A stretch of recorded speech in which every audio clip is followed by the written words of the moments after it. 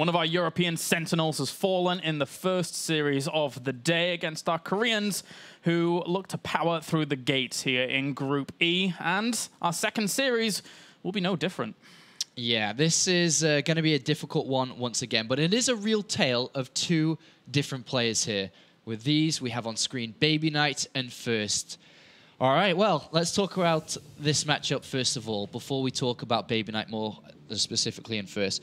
This matchup, give it to me six months ago, I say Baby Knight's a massive contender here to win this. Mm-hmm. In recent times, not as much. Um, but one thing I think here, Kolaris, this is going to be very difficult for Baby Knight. I, I can't see a win here, but Baby Knight has skill and potential inside him. Yeah, that's for certain. As we have a very, very scary two players here. In terms of first, of course, who is very strong. Baby Knight has made a big, big name for himself across the European scene as a whole. It's a little bit sad to be seeing this guy go in Baby Knight. Yeah, I mean, it's very difficult. We can look closer at these players here and just kind of talk a little bit more about them. Here is Baby Knight, who recently announced his retirement from StarCraft 2.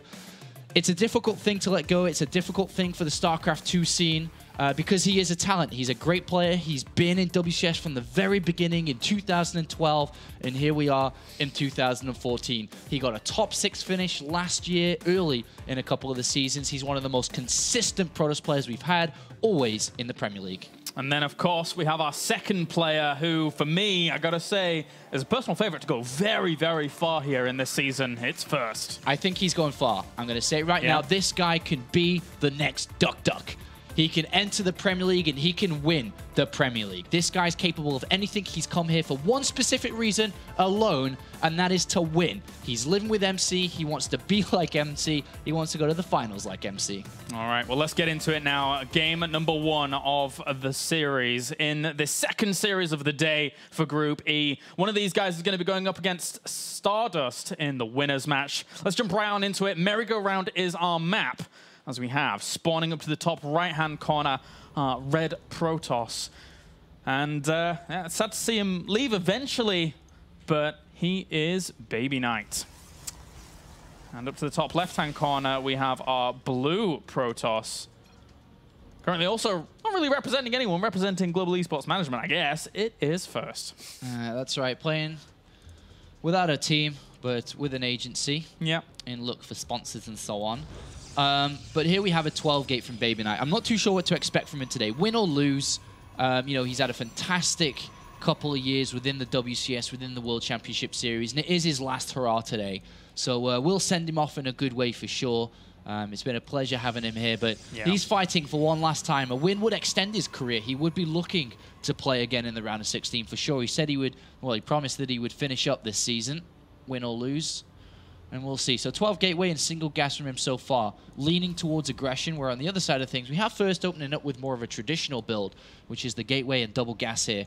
Could be looking at a, uh, an expansion build, could be looking at faster tech, but not looking for fast aggression, that's for sure. Yeah, and with Baby Knight in the position he is, um, and without actually going for a second gas, with that aggression coming out, I'm not too surprised in terms of you know what he's been saying and not really feeling as much motivation towards the game before so uh, but luckily for first look at this he's going to spot this out very quickly He's going to scout this out, but uh, despite having a faster Cybernetics Core, he has thrown down a second gas anyway. Could be three gateways, could be a bit more stalker heavy instead of zealot heavy. Yeah. If he was to go for multiple gateway aggression, could be just a 12 gateway for a 12 gateway and looking for a faster Cybernetics Core for for some form of tech. We'll have to find out really, but he is going to scout his opponent out much faster here, or not much faster, but at the same speed. Sorry. And there is Warpgate Research down. A lot of Chrono Boost saved up here for Baby Knight. And first, already must be anticipating some form of aggression. Could be three gateway pressure. We'll see what Baby Knight's got planned. yeah it has to be uh, did he see the chrono boost into the cyber uh, into the gateway No. and so And there is the Cyber Core. Okay, so a, a lot of power coming out of Baby Knight here in the first game. Yep. Uh, not much gas coming in at all. Three across both gas geysers. Yeah, and he's got a probe hidden down the bottom left. Looks like we are going to see a three gateway come out from Baby Knight here. Uh, whereas first, well, he's thrown down the Stargate. So eh, when you throw down the Stargate like this, he will be building the Oracle. If Baby Knight has all the units on the other side, the Oracle goes in, kills probes, and he defends with the Mothership Core, and maybe starts Void Ray production. Something along those lines. Yeah, well, these first two few units are on the way out here for Baby Oh, Knight. the probe, the probe, the probe, the Did probe. he get spoiled? Oh, The that's probe. sad. No pylon. He's going to have to send out another probe, and this has been severely delayed Yeah, here. and, and just to kind of give you an indication as to how Baby Knight's build is shaping up, this is all without Mothership Core. All of it. So straight to the gateway unit, straight aggression. Yeah. This is Uh. not a good start for Baby Knight. Not at all. and that Oracle should be built now, and that's going to be going into his mineral line. And uh, the the mothership core of first is almost at 100, which does mean photon overcharge and buys a lot of time. We may see a Void Ray come out to help deal with these units. Trying to poke up, but he already takes a lot of damage on that Oh. first Stalker. Oh, this is a bit of a disaster here Only so shields have been taken down by uh, by Baby Knight here. Yeah. Probe rendezvous with the entirety of this army as he Mm. moves forwards, but there's so much damage already been done. Yeah, a lot of damage. Zealot down, Stalker down already. Um, but let's have a look here. The Oracle's going to fly across, and we'll see what it does. All right, well, Zealot and Stalkers now moving forwards here for Baby Knight. And looking to try and just power on through.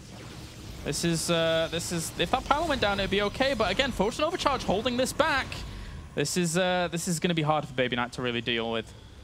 Well, there's the Oracle. Oh, bye-bye probes. and a pylon inside there, too.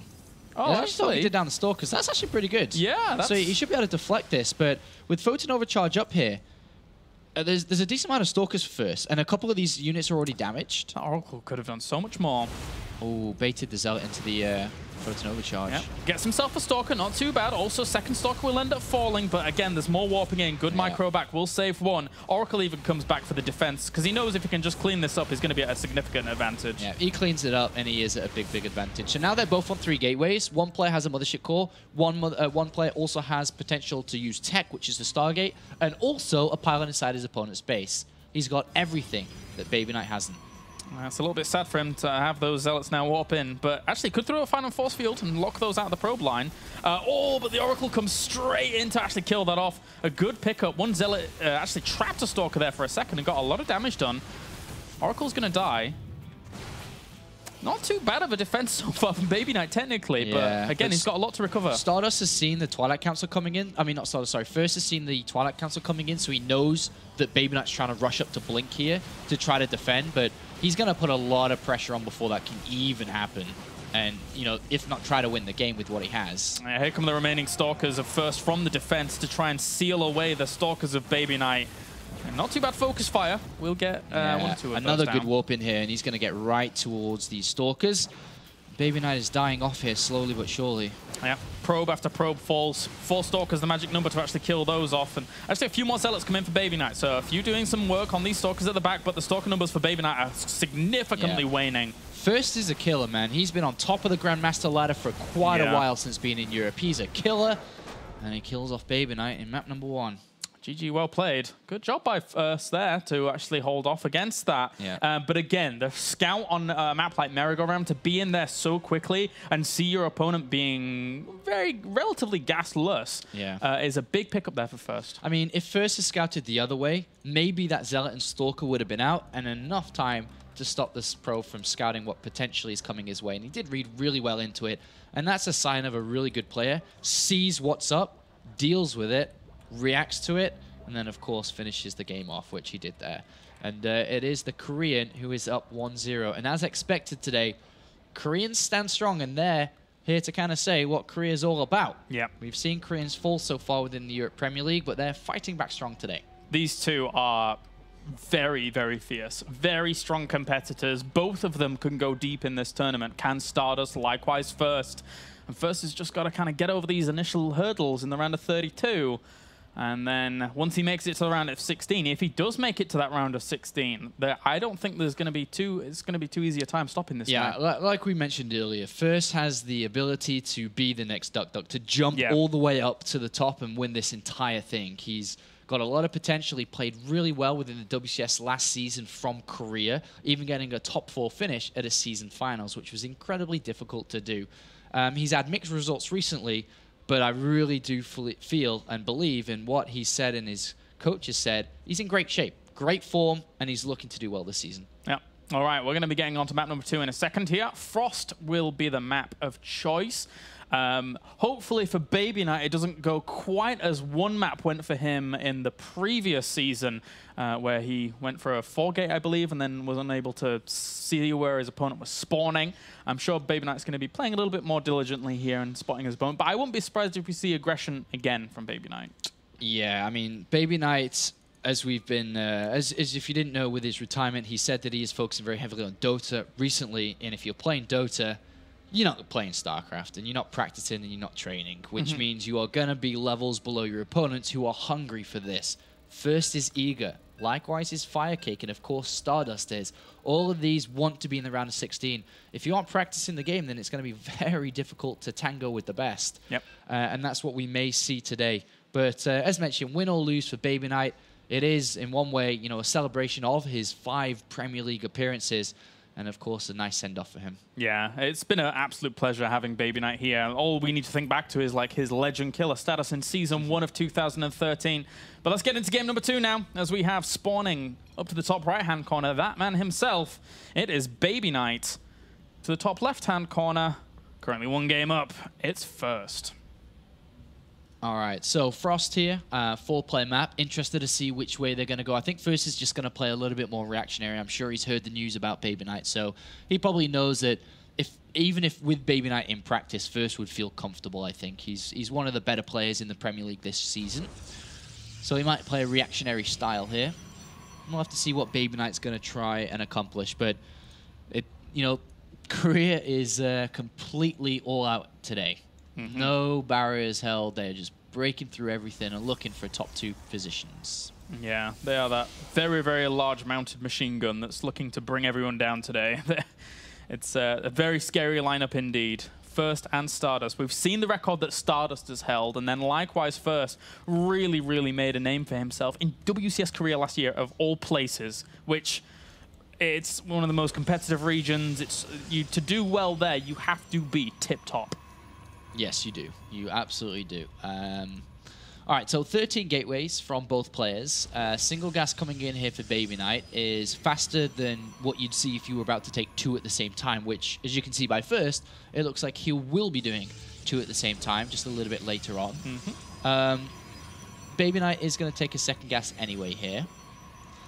And it looks like he may not, he- with the Chrono Boost as well, he's, he's not going to be aggressive early on here. Um, he may just uh, look for different angles to try and win this game on. Well, Pylon goes up to the top left, as is normal usually, to be able to spot things out up there. Also, could end up throwing some tech down if it was something like Stargate. But oftentimes you see this tech actually being thrown down behind the mineral lines. It's probably what we're going to see from first here uh, with this Pylon up to the top left. It's much harder to scout out in this matchup if it's there. Yeah, very tight building placement so far from first. Really tucked in nicely Mhm. on his side of the map there.